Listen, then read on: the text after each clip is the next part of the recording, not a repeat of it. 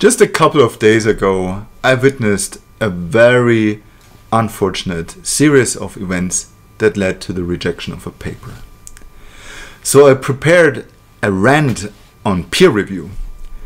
But then I realized this is a problem of scientists, and not all of you may be very well aware what peer review actually is. So this is why I prepared two videos. The first one explaining the peer review process and the potential problems, and the second one is the rant about the peer review. So if you already know about peer review, you can skip the first one and immediately go to the second one. And in any case, just let me give you the grounds for this rant. This is a good paper, except, yeah, this paper is kind of okay, weak except. This paper is not so great, but maybe after changes, weak reject. This paper is broken beyond all reason. Reject!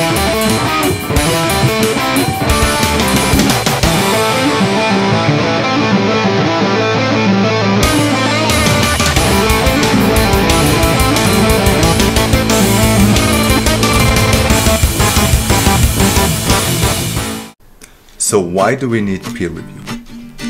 Peer review is a mechanism that developed over many years and its aim is to ensure quality in publications.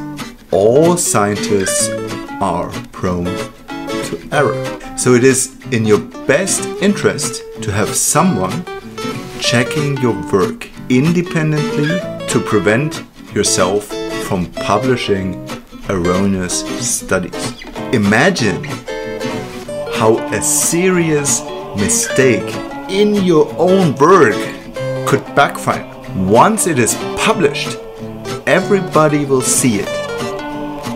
So one could say it's a safety belt for scientists.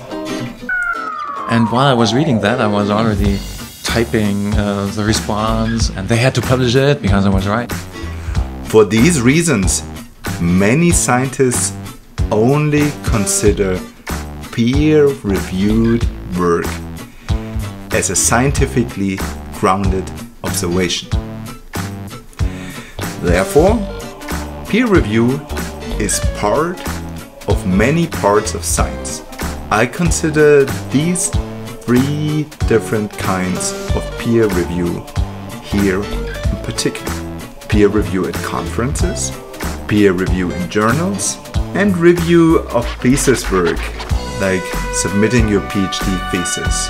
We are happy that it works better than any competing method, but um, that doesn't mean that we, we think we are done. So, how does the typical peer review in a conference work? So, note what I'm describing here is mainly regarding conferences in computer science. The most frequent form of peer review is the one that you encounter in scientific conferences. This is typically also the first experience of reviews that scientists encounter in their career. So sometimes you publish on your master thesis, and then this is the first kind of peer review that you encounter. Depending on the field, conferences may vary from very shallow feedback to a very elaborate competitive process. In any case, the review is performed under time pressure with a fixed deadline. As all scientists are busy people, this constraint is not without any effect. Uh, also because I'm lazy, so you know. In some occasions, up to 30% of the reviews are submitted after the actual deadline. This is then often called an emergency review that is performed within 24 hours. Obviously, such reviews are more prone to errors than a full review that may take weeks to complete. As a result, peer review is often perceived, in particular conference peer review, as a stochastic decision process. And you know, nothing in, in machine learning is exact. There's, of course, different types of conference reviews. In order to ensure clear and also critical remarks, most conferences use a blinded review process. In a so-called single blind review, the identity of the reviewer is concealed such that negative feedback does not result in, let's say, acts of vengeance. Nonetheless, some authors try to re identify their reviewers by the used language and terms, so they have a hunch who could be the reviewer. I can only advise against this, as it will only result in ungrounded accusations. Some, often highly reputed conferences, try to reduce potential bias due to personal dislike even further. In these cases, a double blind review is used. Here, the authors remove their names and all information from the paper that would allow to identify them. Thus, the reviewer also does not know whose work they're actually rating and is unable to favor certain groups of personal liking over other authors. So, peer review can be regarded as a random process. Review decisions suffer from a certain amount of randomness. They may be affected by a certain wording in the paper or question the general idea. Therefore, a single reviewer is regarded as unreliable. Most conferences choose between two to four reviewers and consider their majority vote on the work under consideration. In top tier conferences, even this is not regarded as trustworthy. Here, a so called meta reviewer is introduced into the process. Reject! The meta's task is to arbitrate situations in which the reviewers do not find consensus in the first round of reviews. In these cases, the meta can guide the discussion and help the reviewers to find an appropriate evaluation of the paper. Reject! Unfortunately, like in the example in the beginning of this video, some metas regard themselves as some kind of infallible deity that grants wisdom to the rest of the world.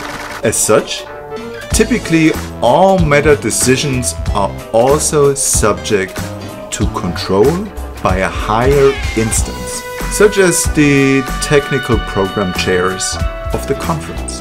Yet, this choice too bears the risk of introducing yet another factor of randomness. And you know, nothing in, in machine learning is exact. So, for example, if six technical program chairs have to manually check more than 1,500 paper decisions. In order to reduce the randomness further, some scientists even suggested to use even more reviewers, like let's say 30 to 50.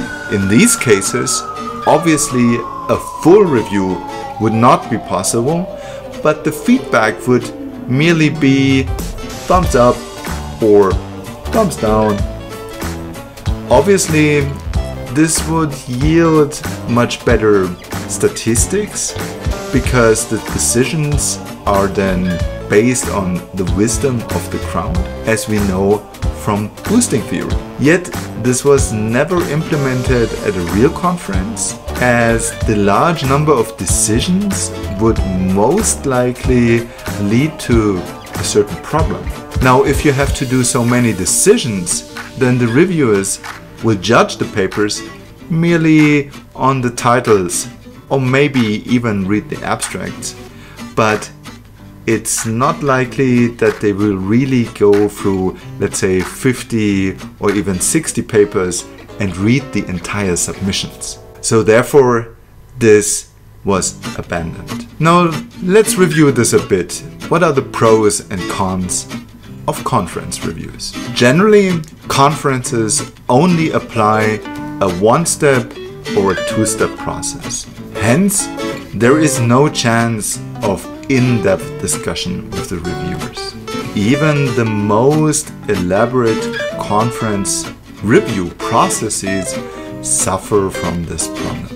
Therefore, you should not get demotivated by negative or harsh reviews. A lot of the work is done by volunteers, there's time pressure involved, so also the reviews may have even errors. So, also the reviewers, of course, make mistakes. So, try to understand the reasons for the critique and use it to improve your work.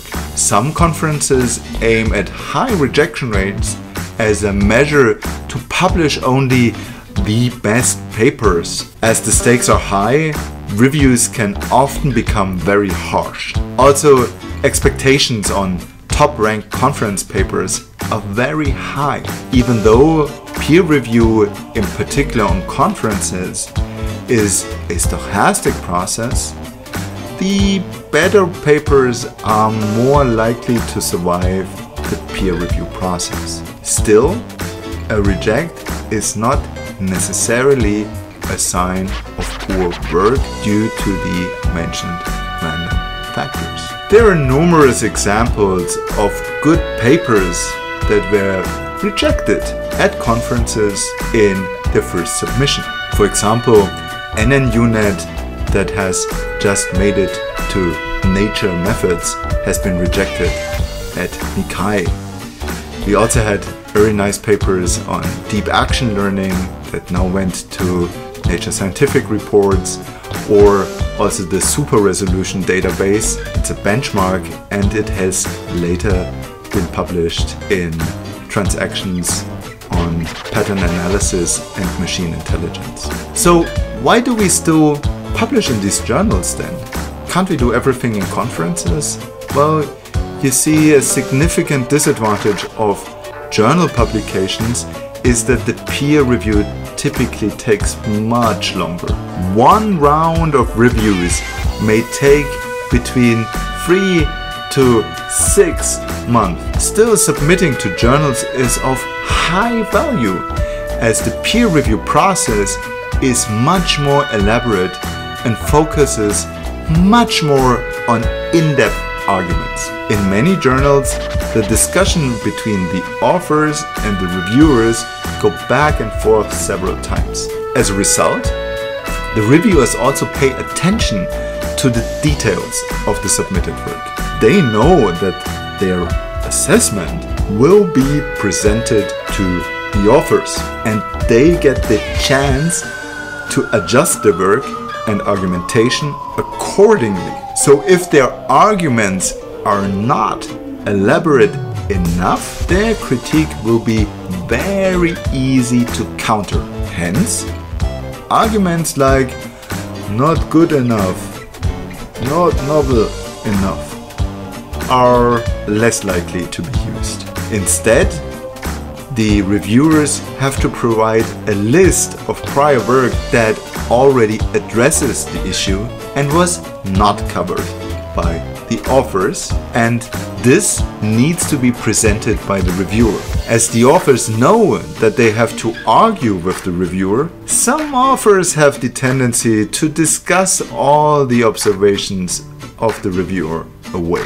This, however, is not the purpose of peer review. Each round should improve the paper. So authors should not fall for common mistakes such as taking the critique personal. The reviewer is interested in making your paper better. So don't deem the reviewer as stupid. Reviewers are representative readers of your paper.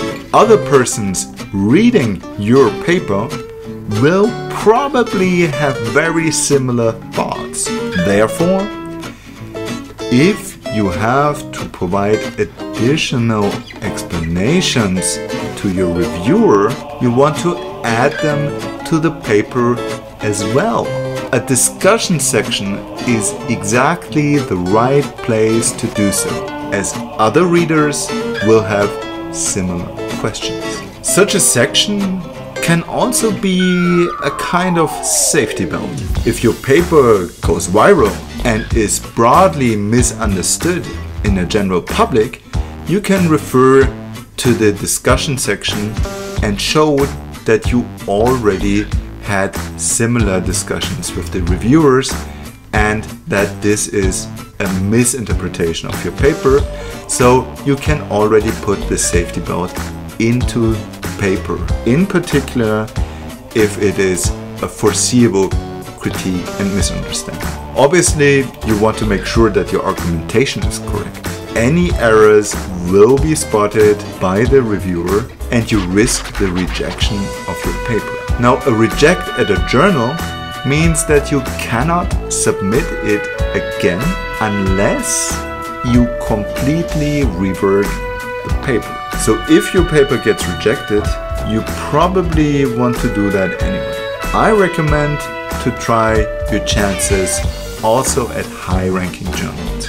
A desk reject, that means a rejection without peer review, reject will maximally take two weeks and it will give you the feeling that you tried at least to get into the high ranking journals. Publishers such as Nature even have the instrument of a pre submission inquiry. In this one, you only submit the abstract, and this will be evaluated within one or two weeks. Given three to six months of peer review, that is just a very small amount of time. So, should we still actually write PhD thesis? Can't we just make cumulative works? This is why I want to discuss shortly a third kind of review that I want to include in this video, and this is concerning the review of thesis works, such as doctoral thesis. Some supervisors request accepted peer-reviewed publications for the successful completion of their PhD.